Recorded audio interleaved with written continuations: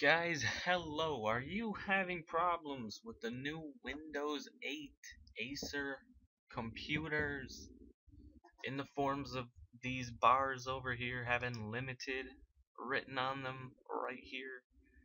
Um, I just fixed mine. I went through days of searching and trying and figuring out how on earth to fix this stupid problem and I can now tell you two different ways to do it.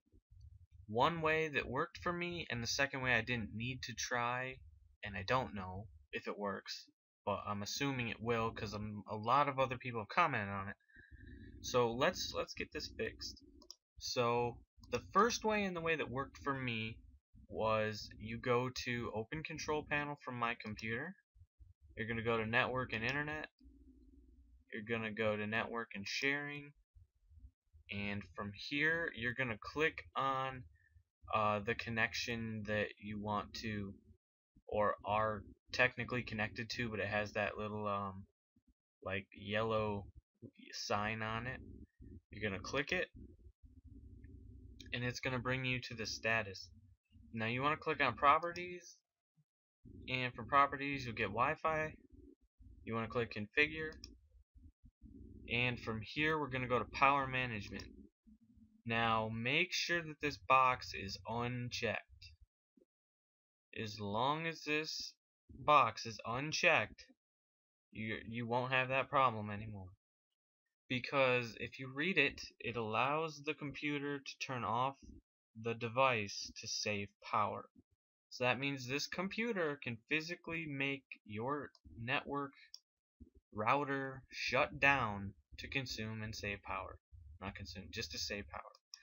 So as long as you have that unchecked, you are good to go. Just all good, all set. Now, um, the second way that, and I mean, like I said, I don't know if this one will work. If the first one didn't work for you, you could always try this. But, you know, please don't blame me. This is just what I had read uh, about other people who had the same problem. So you're going to go to my computer for this. This is the second way. If the other one worked, do not do this way. yeah, you're going to go to, again, control panel, and you're going to search driver. And that's that's all you're going to do is just search driver here. Go to update device drivers. Now, from here, you can physically do what you want to these drivers. Um, some people have stated that uh, uninstall. Well, actually, a fact. Uh, when Acer made this computer, there are many problems that have occurred with internet connection with it. So uh, one of those actually are really drivers. Some of the drivers intertwine with each other and cause uh, the internet to malfunction. Um, and the only one that I really remember uh, is any Blu-ray device drivers. Now, I don't personally know where it is, but I'm sure you can find it somewhere uh, looking for your Blu-ray device driver anywhere on here. And you can remove it, you can update it, you can do whatever you have to do. Uh, those are just some things that you can try. But again, don't don't don't do the driver thing if you've uh, already tried the um, properties way.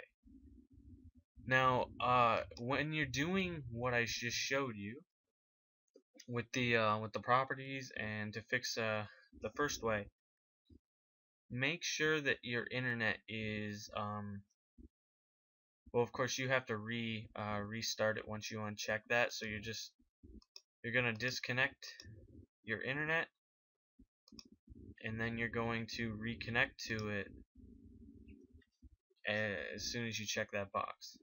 And that is that is it. You should hopefully have it fixed and I really hope it helps you because like I said I was stuck forever on it and oh my god you know?